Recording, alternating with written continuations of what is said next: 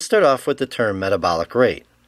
In this video, we are defining metabolic rate as the amount of calories you would burn off in a day while at rest. So, not moving around or being active.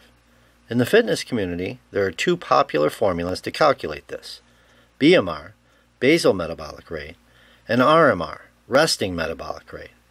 BMR is taken after 8 hours of sleep and 12 hours of fasting. RMR is taken under less restrictions and has been shown to be statistically more accurate. Let's look at a couple of examples. Here we have Kyle and Samantha, and their metrics are shown here. Kyle is 44 years old, 5 foot 8, and weighs 160 pounds. Samantha is 33 years old, 5 foot 4, and weighs 126 pounds. The RMR equation for men is 4.55 times weight in pounds plus 15.88 times height in inches minus 5 times age plus 5. For women, the equation is 4.55 times weight in pounds plus 15.88 times height in inches minus 5 times age minus 161.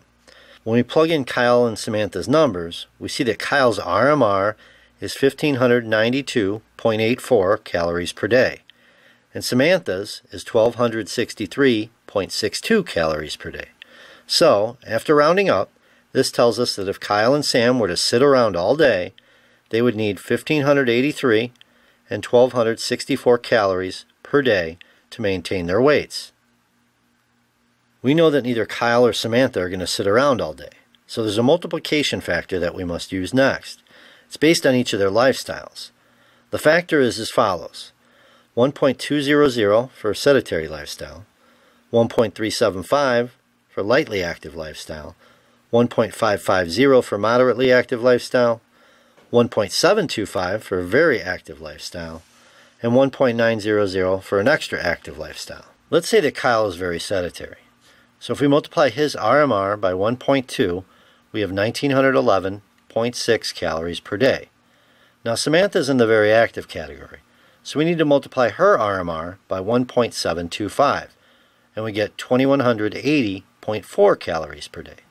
So based on these calculations, Kyle can consume 1912 calories per day to maintain his current weight, and Samantha can consume 2180 calories per day to maintain her current weight.